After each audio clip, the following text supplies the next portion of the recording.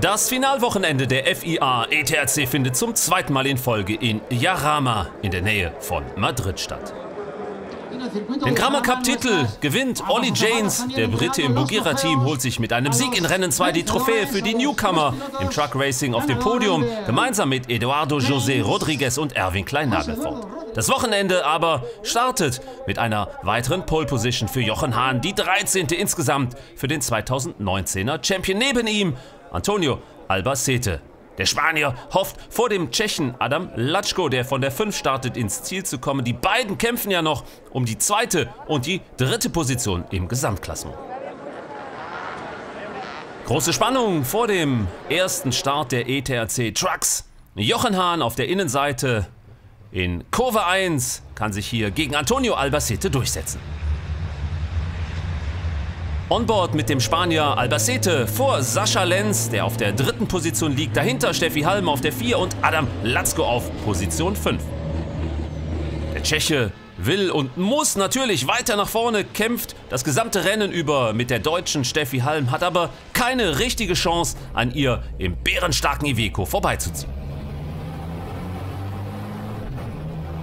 Runde 4, Sascha Lenz auf Position 3, dann Steffi Halm, Latzko und auf Position 6 Norbert Kiss, der Ungar, in seinem schwarzen Mercedes-Benz-Truck.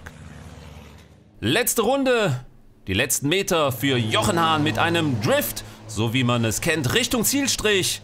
Der 13. Saisonsieg für den Deutschen, zweiter Antonio Albacete, der Spanier bei seinem Heimspiel und dritter Sascha Lenz, schon mit ganz gehörigem Abstand. Ein sehr emotionaler, bewegender Sieg für Jochen Hahn, dessen Vater nämlich zwei Tage zuvor überraschend verstorben ist.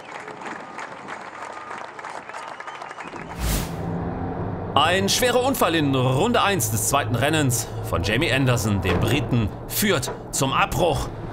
Anderson, sozusagen der letzte Rivale von Ollie Janes im Kampf um den Grammar Cup-Titel, kracht hier in die Streckenbegrenzung, weil am Truck des Briten eine Feder gebrochen ist. Die letzten Hoffnungen auf den Titel für Anderson damit weg. Zweiter Startversuch. Polsetter René Reinhardt fehlt. Es führt José Rodriguez im Truck mit der Nummer 14 Reinhardt musste mit einem Plattfuß nach einer Attacke von Latzko in Runde 2 des Abbruchrennens an die Box, demzufolge also von ganz hinten starten.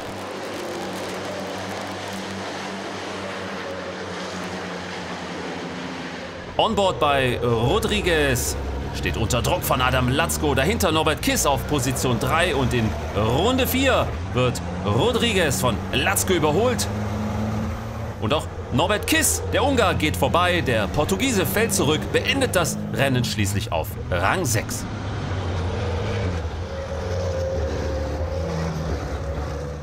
Letzte Runde. Adam Latzko führt vor Kiss, dann Albacete, Hahn, Lenz und Rodriguez. Der Tscheche gewinnt zum dritten Mal in dieser Saison auf der Strecke, wird allerdings am späten Abend dann noch mit einer 10-Sekunden-Strafe bedacht. Wegen der Attacke gegen Reinhard fällt zurück auf die sechste Position. Norbert Kiss erbt dadurch den Sieg. Der Sonntag, Rennen Nummer 3, die erste Reihe. Adam Latzko hat sich die Pole gesichert. Die zweite für ihn 2019. Neben ihm Jochen Hahn nur unwesentlich langsamer als der Freightliner-Pilot vom Bugira-Team.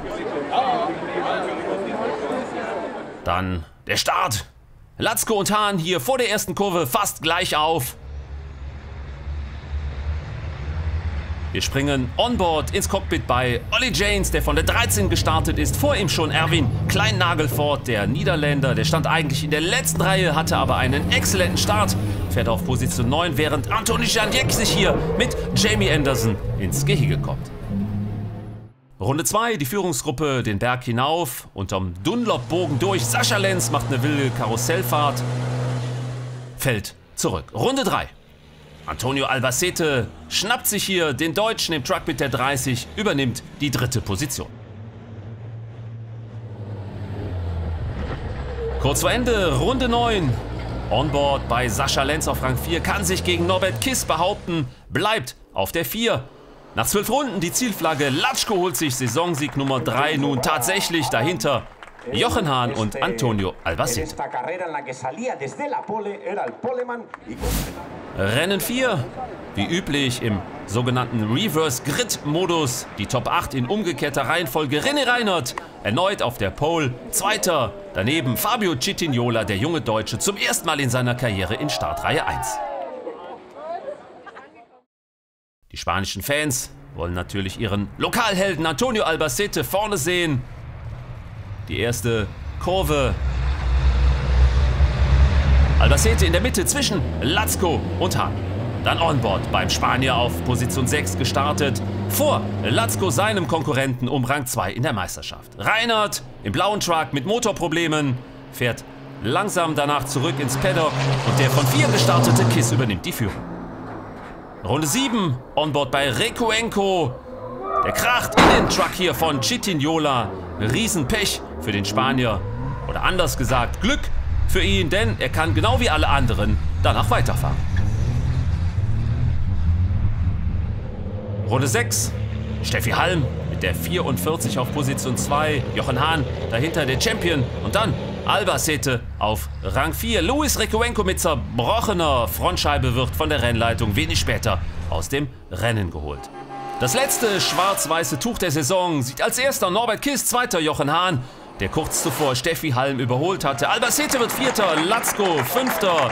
Damit der Spanier am Ende zweiter der Gesamtwertung. Ganze sechs Pünktchen vor Adam Latzko.